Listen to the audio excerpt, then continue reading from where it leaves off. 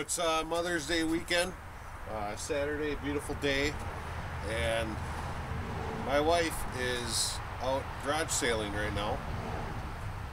Uh, our daughter is sleeping. I'm gonna try to build a kitchen island. I've been telling my wife I was gonna build a year and a half ago. Uh, Ethan's gonna help me out, and we're gonna try to do this uh, quick as possible. Free materials, two by fours out of dumpster. We got pallets over here. We're gonna cut apart and, and uh, build us a kitchen island. So please stick around. Enjoy the video. Thank you.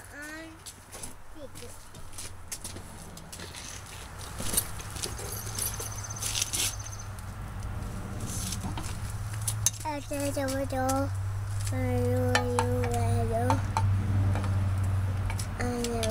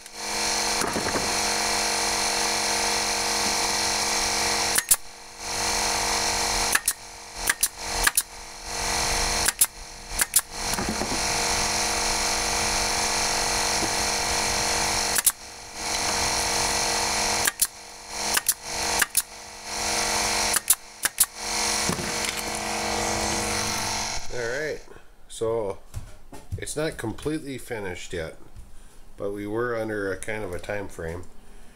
Ethan's got an ice cream cone for helping out so well. But, uh, so this is a countertop, pallet wood, Please hold this. pallets cut down, and then uh, nailed to my two by uh, two by fours that I ripped down in half to an inch and a half to make them two by twos, actually an inch and three quarters. Um, and then I'm not quite done yet with this, uh, kind of under a time limit here, but uh, and Evelyn is still sleeping.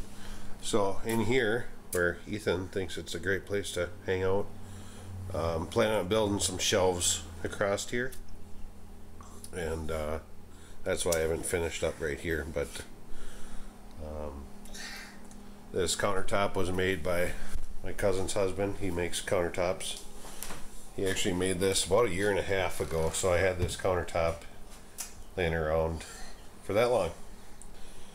But uh, and then over here on this side, um, it will be there'll be another section that flips up flips up and down so we were trying to kind of conserve space here.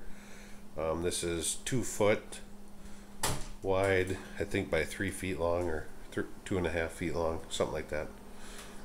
Um, and then the what I'm kind of thinking is maybe getting rid of this here and putting everything on on there in the shelves, and then putting this on rollers so we can roll it back and forth to there. Um, but anyways, this is uh, this is not the finished product, but it's a start, and I think my wife will love it. Hopefully, it's only been a year and a half since I told her about it. So, anyways, thanks for watching. Hope you guys enjoyed, and happy Mother's Day to all the mothers out there. Say bye, Ethan. What is Bye. All right.